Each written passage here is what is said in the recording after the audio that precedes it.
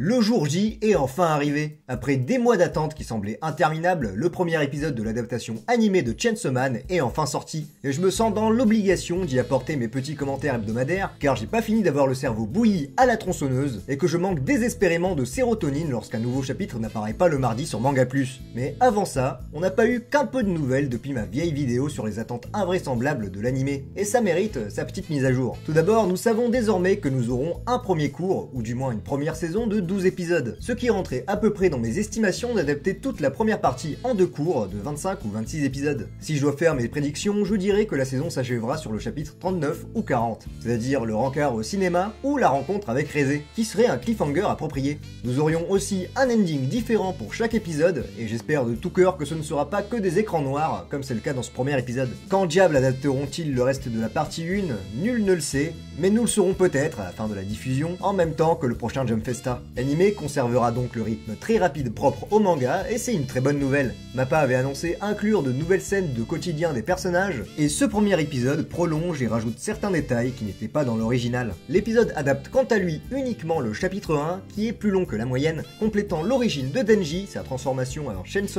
sa rencontre avec Makima, et sa relation avec Pochita. Mappa a pris une approche semi-réaliste et cinématographique, qui est à double tranchant, mais pas tant pour déplaire, dans l'idée que c'est adapté fidèlement avec un certain sens de l'identité. Mais pour donner mon avis sincère et vite fait, je suis plutôt convaincu avec néanmoins certaines réserves. L'anime ne pourra jamais vraiment répliquer la formule magique du ton extraterrestre de Fujimoto. Les couleurs sont relativement ternes par rapport au style pop de Fujimoto, surtout au niveau de ses illustrations, mais regardez-moi ça, comment c'est vivant là L'épisode avait une animation de qualité et consistante pour la majeure partie. Il y a bel et bien un mix 2D 3D, surtout pour le Chainsaw Man transformé à la fin. Et euh, je faire encore le rabat-joie, mais certaines animations ne me semblent pas appropriées pour l'émotion de certaines scènes. Ici, Denji voit Pochita pour la première fois. Il trébuche d'une manière qui ressemble à de la rotoscopie, et je n'ai pas pu m'empêcher de le remarquer. Dire, ok, c'est sympa de voir une réaction qu'il a pas eu dans le manga et tout, mais j'ai plus l'impression que Mappa voulait flex son animé cinématographique en 60 fps qu'autre chose sur ce bref instant. Et enchaînant sur les négatifs, il y a le combat beaucoup moins lisible et impactant avec le démon zombie. Dans le manga, les cases abondent d'encre et de zombies, avec très peu d'espace libre qui fait sentir qu'on a une horde immense dans un tout petit hangar. L'équipe de Mappa s'est résolue à montrer le fight différemment, comme avec le coup euh, du lancer de zombies. Il y a quelques mouvements balourds avec Chainsaw Man en 3D qui n'ont pas le même punch. Cela dit, il y a du poids contrairement à ce que je reprochais à la CGI, mais ça ne met pas vraiment Denji en valeur sur certains plans. Ce qui me chagrine car de véritables efforts ont été faits sur cette 3D qui arrive à être quasi invisible sur certains plans. Si je dois faire l'avocat du diable, je dirais que Mappa fait exprès de sacrifier la première grosse scène d'action pour montrer l'inexpérience de Denji en Chainsaw Man. Mais vu le sbull qui attend l'équipe d'animation, j'espère que la CGI sera utilisée intelligemment. Et euh, surtout qu'ils s'amélioreront sur les animes 2D, euh, sur les décors 3D. Comparé à son homologue papier, le combat contre le démon zombie est bien moins original, moins anxiogène, mais pire que tout, moins cathartique. On peut dire aussi que les pages les plus marquantes et plus importantes du chapitre se fondent un peu dans la globalité de l'épisode, allant un peu à l'encontre de ce qui rend le manga si populaire en allant euh, la sobriété. Mais bon, j'avoue, j'ai quand même trouvé la globalité du climax satisfaisant. Certaines animations du combat sont plutôt inventives. Chainsaw Man qui arrive au démon zombie en se frayant un chemin dans ses lassos intestins, les rires maniaques de Denji, ou sa façon de pendre sa langue à la Venom, ça reste crado, ça reste violent, du bon cru. Si j'ai une qualité au-dessus de toutes les autres qui m'a convaincu que ça allait être une bonne adaptation, se résume en un mot. L'immersion. Une fois plongé dedans, on n'en ressort pas. La soundtrack de Kensuke Ushio, le storyboard et les hommages au cinéma y jouent beaucoup. On ne voit tout simplement pas l'épisode passé. L'histoire y est très fidèle et la production est nettement supérieure à la plupart des animés. Dans les faits, euh, nous sommes gâtés avec cette adaptation de Chainsaw Man. A contrario de la scène où Denji rencontre Pochita, on a dans le même épisode la résurrection de Denji qui n'a pas besoin de flex des techniques d'animation bien compliquées pour montrer une scène mémorable.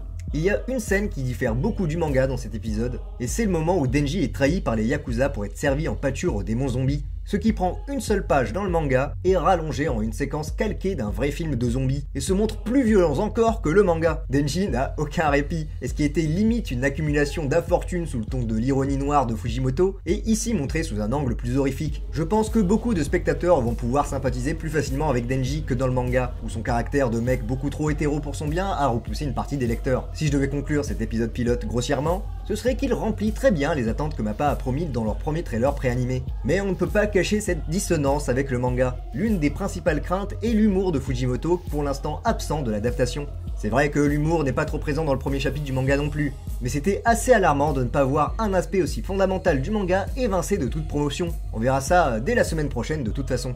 Perso, j'ai moins peur sur cet aspect depuis que j'ai vu l'opening, et il y a tellement à décortiquer que je pense que je vais en parler tout de suite avec une petite section spoilers pour ceux qui découvrent avec l'animé.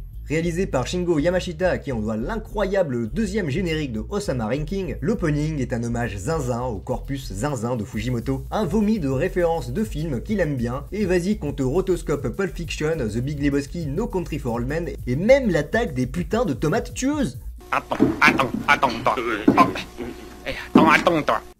Pourrais sûrement pas citer toutes les références ici, je suis sûr que d'autres s'en occuperont très bien. On peut tout de même saluer l'explosion qui devient un running gag inlassable de Fujimoto depuis son dernier one-shot. On voit chacun des personnages de Chainsaw Man prendre des rôles qui leur correspondent selon les films référencés, comme Aki qui jouerait très bien dans Il était une fois à Hollywood, ou Ange dans l'échelle de Jacob. Les personnages se réunissent au cinéma comme dans Fire Punch pour regarder leur propre histoire. D'ailleurs, dans les rangs, Kobeni se fait chourave sa place par Power, parce que bien sûr que c'est ce que ferait Power. Denji en laisse, on crescendo, et bam Denji se bat contre un démon qui ressemble à rien avec des chaînes, il y a une anime qui déchire et Power utilise son énorme QI pour frapper une boule avec Denji dessus. Ils font leur danse débile, le futur c'est super, et on est prêt pour notre épisode de Chainsaw Man. Bon maintenant j'aimerais parler de ce que tease l'opening, qui est un énorme spoilers pour les épisodes qui seront pas diffusés cette année. Je vous laisse le temps de skipper, et on y va.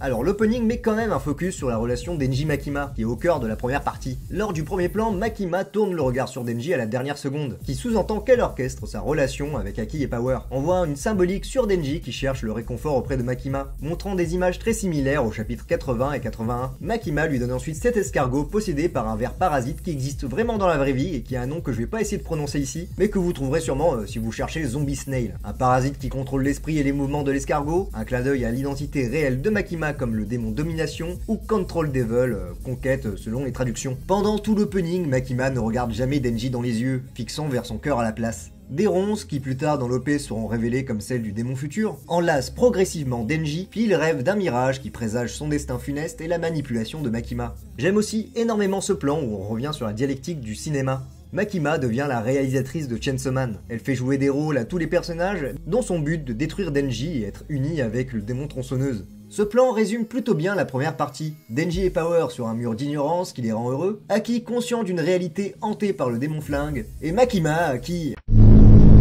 Le bonheur et l'ignorance font écho à Kanchi, Aki est enseveli par la neige, et euh, Halloween, Halloween, Halloween. On a aussi un léger tease du démon flingue qui n'apparaît que bien plus tard dans l'histoire. Mais dans l'ensemble, c'est un opening très fun, quoique pas toujours lisible, mais qui me fait automatiquement sourire quand je le vois. Ce sera tout pour aujourd'hui, j'ai très hâte pour les prochains épisodes, j'essaierai de faire des reviews régulièrement, peut-être dans un format court étant donné que je suis de plus en plus occupé au travail. Si tu veux me soutenir et me prouver qu'il y a une rentabilité sur YouTube, mes liens Utip sont dans la description. Allez, des bisous et à la prochaine saut